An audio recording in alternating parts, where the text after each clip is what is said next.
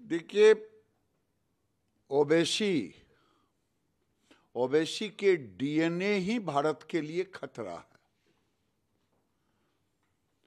ओबेसी के डीएनए में ही भारत का खतरा है। भारत के लिए खतरा है। क्योंकि मोहन भागवत जी ने जो बात कहा, वो 200 प्रतिशत सही कहा कि हिंदुओं को अब समय आ गया है एकजुट होने का, क्योंकि ये ओबेसी जैसे जितने लोग हैं, वो कोई कहते हैं 800 साल का मेरा रहा है राजपाट, फिर मैं आऊँगा। ओबेसी इस पर क्यों नहीं बोलते? और एक चीज़ और जान ले देश का लोकतंत्र, ओवैसी, तभी तक सुरक्षित है, जब तक यहाँ पर सनातनियों का बहुमत है। जिस दिन सनातनियों का बहुमत खत्म होगा, ओवैसी की मंसूबा पूरा होगा एक सवाल उन्होंने ये भी उठाया कि अमेरिका यात्रा पर जाते हैं यहाँ जाते हैं वहाँ जाते हैं लेकिन चाइना जो है जिस तरीके से ज़मीन लगातार कब्जा कर रहा है उस पर तो मोहन भागवत जी कोई टिप्पणी करते नहीं। ये क्या वजह है? ये राहुल गांधी के दूसरे भाई बन गए हैं ओवैसी।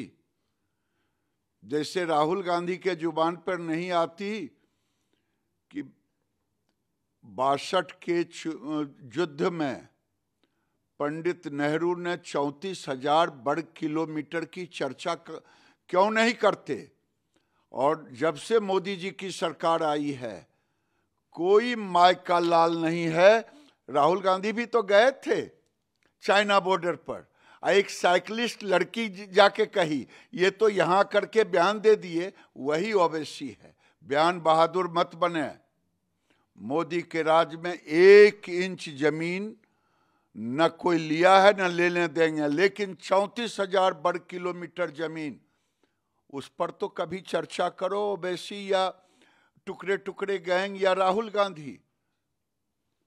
सर झारखंड से जुड़ा हुआ सवाल है। बीजेपी ने साफ़ कह दिया स्पष्ट कह दिया है कि एनआरसी लागू होगा सरकार आती है और उसके अलावा ये भी कहा है कि जो बांग्लादेशी घुसपैठी जिस तरीके से लगातार अपना प्रभाव बढ़ा रहे उस पर भी कंट्रोल करेंगे। क्या कहेंगे इस पूरे विषय को लेकर?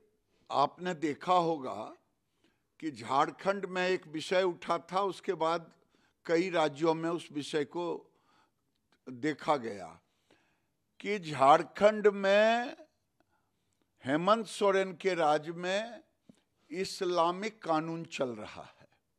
वहाँ शुक्रवार को छुट्टी हो रही है स्कूलों में, जो मुस्लिम बाहुल है। और ये मुस्लिम बाहुल हेमंत सोरेन के राज में हुआ जब से हेमंत सोरेन आए खुली छूट। और वहाँ आदिवासियों का जो आया कि 44 परसेंट थे, आज 28 प्रतिशत हो गए। इसलिए एनआरसी झारखंड में अति आवश्यक है, बंगाल में आवश्यक है आसाम में आवश्यक है। वैसे तो एनआरसी पूरे देश में लगनी चाहिए, क्योंकि हर नागरिक का अपना एक आइडेंटिटी कार्ड होनी चाहिए।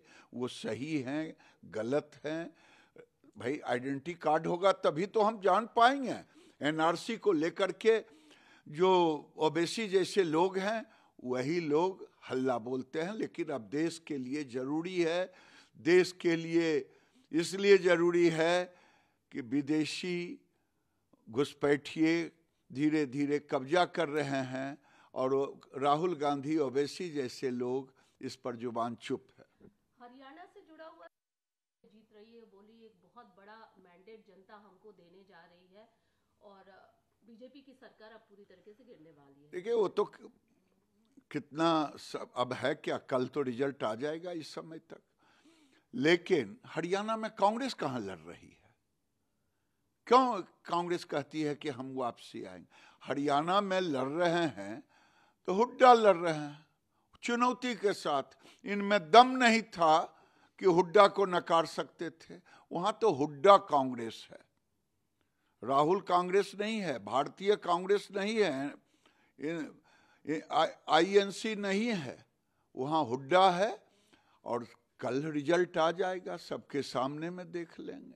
एक अंतिम सवाल जम्मू कश्मीर से जुड़ा हुआ फारूक अब्दुल्ला साहब कह रहे हैं कि हम लोग जीत रहे हैं, सरकार बना रहे हैं कांग्रेस के साथ। उसके अलावा महबूबा मुफ्ती की पार्टी को भी कहा है कि अगर वो चाहें तो वो भी आ सकती हैं, इस तरीके की बातें की जा रही है। क्या आपको लगता है वहाँ पर की भारत में ये टुकड़े टुकड़े गैंग जो भारत के खिलाफ समय समय पर कि कश्मीर हो या कश्मीर के बाहर, ये लोग कौन हैं? फारूक अब्दुल्ला, भारत विरोधी पाकिस्तान समर्थक, महबूबा मुफ्ती, भारत विरोधी पाकिस्तान समर्थक, पत्थरबाजों की और राहुल गांधी, इन दोनों के समर्थक।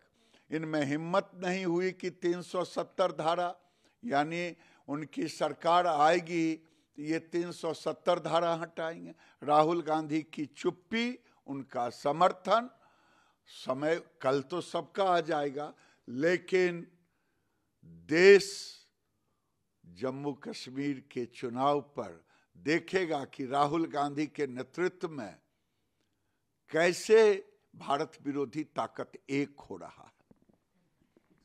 और वैसे वैसे अगर कहें,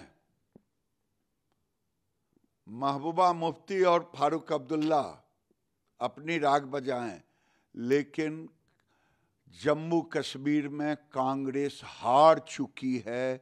मैं डंके की चोट पे कहता हूँ, कांग्रेस पार्टी बहुत बुरी तरह से हार रही है बीजेपी से।